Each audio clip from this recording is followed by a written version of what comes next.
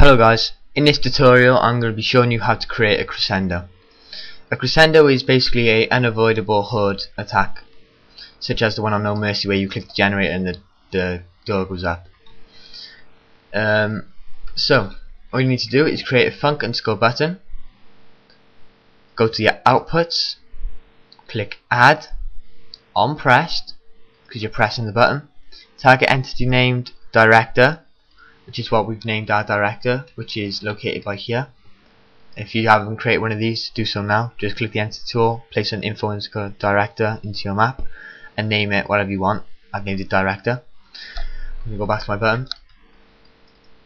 So unpressed director via this input panic event and fire once only. Click apply.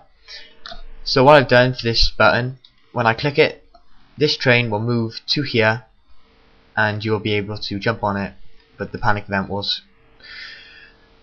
attract a horde so now if I wanted this prop and underscore dynamic to glow which is what I've used all I have to do is name this go to my func underscore button and go down to the option glow entity and name this the prop.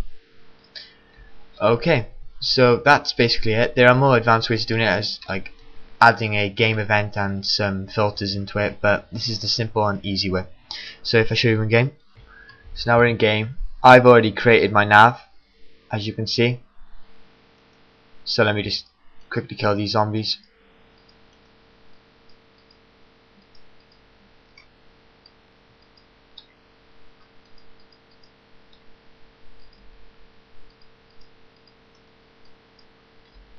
Right, so basically I'm expecting they're going to run down this tunnel.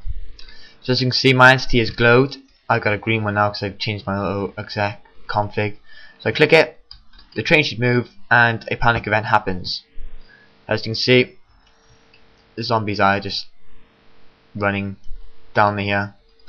Yeah, so that basically concludes this tutorial. Hope it's helped in all ways and good luck with your mapping.